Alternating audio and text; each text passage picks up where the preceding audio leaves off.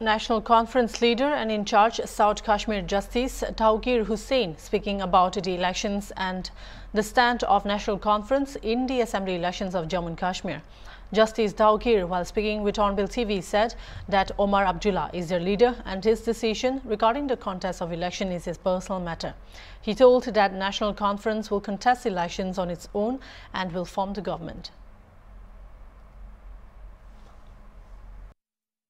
देर राय दुरुस्त आया इलेक्शन हुआ ऐलान जहाँ तक एनसी का ताल्लुक है हम तो पिछले चार साल से तैयार ही तैयार हैं तो इन ताला इलेक्शन हो जाएँगे आप देखिए एनसी बाहरी अक्सरियत से जीत के आएगी और हुकूमत बनाएगी।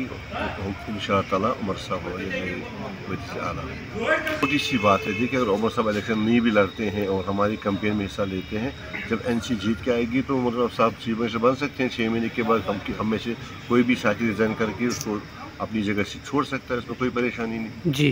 तो उमर साहब का जो वो ज़ाती फासला है कि मैं इलेक्शन नहीं लड़ूँगा जो उन्होंने कहा था।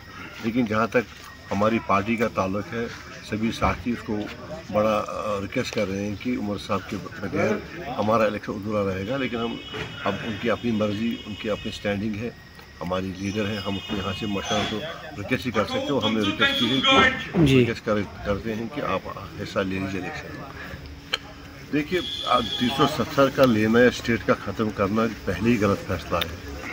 बेहतर रहता है कि पहले स्टेट देते या कल जब आज इलेक्शन कमीशन ने ऐलान किया तो कल वो ऐलान करेंगे हम स्टेट हमें वापस देंगे। जी। लीगली हमसे हक छीना गया तो कम अज़ कम अब लीगली तो उसको दुरुस्त करें। ये तो हमारे मंशूर में है। अभी अब एक दो दिन में देखिए हमारा जो मंशूर आ गया आएगा उसमें तो सबसे पहले हमारा जो सिर्फ़ ये नहीं मैं तो यही कहूँगा कि हमें ऑटोनॉमी दी जाए। ऑटोनॉमी दी जाए स्टेट वापस दी जाए, तीन सौ सत्तर वापस दिया जाए। बस हम लोगों के पास जाएँगे, जो हमने आज तक किया है शरीक बाबा कुम शरीक के ज़माने से देखिए, आज तक जो हमने किया, हम लोगों के सामने रखेंगे। बाकी लोगों ने जो किया, वो भी उनके सामने है। हम यही वादा करते हैं लोगों से कि अगर एन जीत के आएगी तो जो लोगों को पिछले आठ, दस साल से जो जख्म लगे हैं, हम उसमें मरम पट्टी करने की कोशिश करेंगे और इन ताला घर घर जाके लोगों की खबर करेंगे रिश्ता नहीं तोड़ा, देखिए जो इंडिया ब्लॉक में हम अभी भी हैं। लेकिन वहाँ इंडिया ब्लॉक में वहाँ पे हम अलायंस करेंगे जहाँ बीजेपी के साथ मुकाबला है। कश्मीर में बीजेपी है ही नहीं तो ना करने की क्या ज़रूरत है? जी।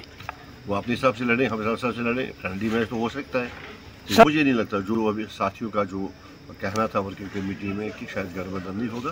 बाकी हम उमर साहब बैठे हैं फारूक साहब बैठे हैं बाकी वर्किंग कमेटी डिसाइड करी अफेयर्स कमेटी डिसाइड करी जो उनका फैसला होगा कम अज़ कम मेरे सारा आँखों पर। तो इसका जवाब नहीं दे सकती। अगर हमारी सीटें इन तो पूरी आएँगी। कम आएँगी तो फिर देखेंगे कि किसके साथ मिल के जो जिससे कम से कम नुकसान है। मेरे को जी तो सर आखिर पर क्या पैगाम रहेगा आपका? बस लोगों को ये करेंगे बढ़ चढ़ के वोट इलेक्शन हिस्सा ले लीजिए एन को कामयाब बनाइए और हर वाले एजेंडे पे अपनी